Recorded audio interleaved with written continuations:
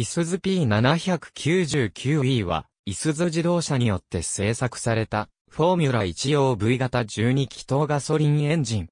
イスズ P799E ディーゼルエンジンの製作で有名なイスズは、自社のガソリンエンジン製作技術がどこまで通用するかということを確かめるために P799E の製作に入った。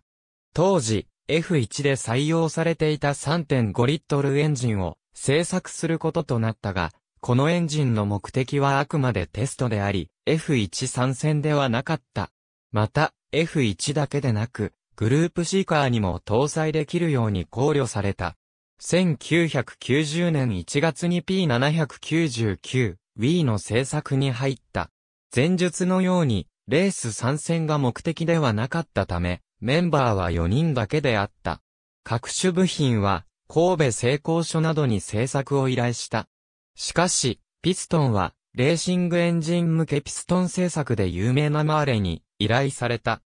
12月には、部品が揃い、12月24日についに1号機が完成となった。1991年2月に、火入れ、ベンチテストが行われた。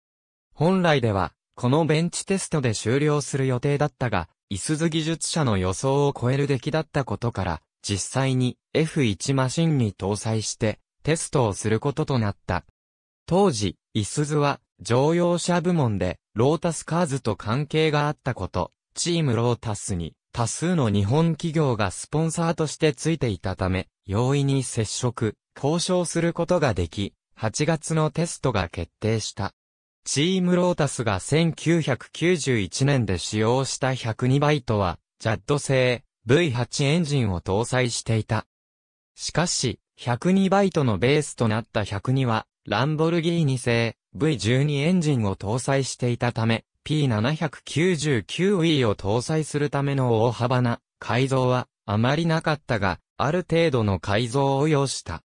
具体的には、エンジンマウントの改造、ベルハウジングの製作、エンジンカウルの再製作、ラジエーターの大型化だった。このマシンは、ロータス 102C と命名された。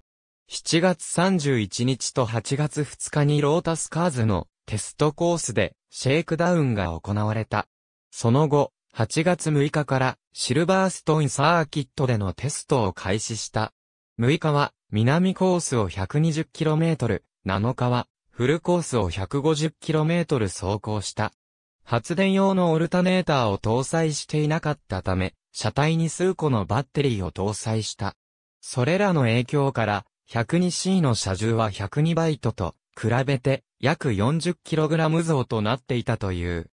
この 102C が記録した最速ラップは1分30秒であり、同日にテストを行っていたマクラーレンホンダのアイルトンセナの約6秒遅れだった。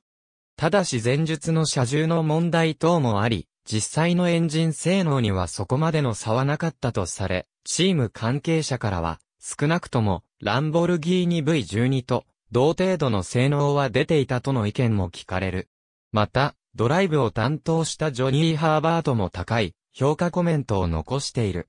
テストから1ヶ月後、ロータスのピーター・コリンズは、私の経験に基づけば、レーシングエンジンを一発で始動できたのは初めてだと、イスズを称賛する発言をした。しかし、イスズとしては、当初の目標であるテスト走行までこぎつけたことで、目的は達成できたと判断。このシルバーストーンでの走行テストもベンチテストの予算を回して行われていた。